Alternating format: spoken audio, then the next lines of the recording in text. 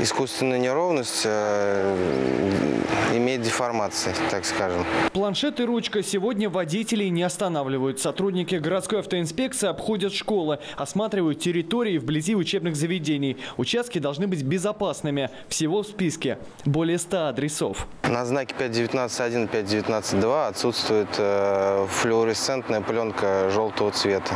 Носит рекомендательный характер, но как бы вблизи учреждений... э, Образовательных. Образовательных, да. Лучше бы, чтобы они с ней были, чтобы привлечь внимание водителей лишний раз. Одиннадцатая школа, что в Волжском районе. На дороге отсутствуют зебры и некоторые фрагменты лежачего полицейского. Необходимо обновить и знаки пешеходного перехода. По словам автоинспекторов, по правилам здесь должны быть и металлические ограждения. Отсутствует один. С той стороны нет. Видишь?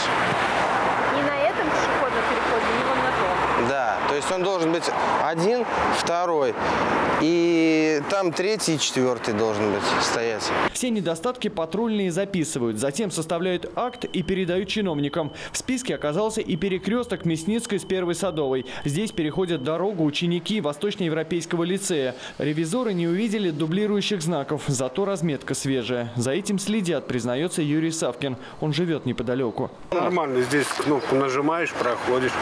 Ну, Мы тут слепые, и они всегда пользуются. И дети также проходят, все нормально. По истечению срока, указанного в представлении, нами повторно проводится проверка. А, По исполнению данного представления дорожным комитетом а, осуществляется выезд а, к прилегающим территориям вблизи образовательных учреждений, на которых мы проверяем, были ли сделаны соответствующие работы сотрудниками дорожного комитета. Как показывает практика, дорожная разметка, в принципе, наносится постоянно на основании наших представлений в необходимых для того местах. А вот уже со светофорными объектами стоит подождать периодически. Не облагорожен участок и рядом с самим лицеем. Ни лежачего полицейского с разметкой, ни знаков со светофорами. С последним в Саратове вообще беда, рассказали патрульные. Их установка обходится недешево. Всего же в городе дороги безопасны лишь у одной школы из десяти.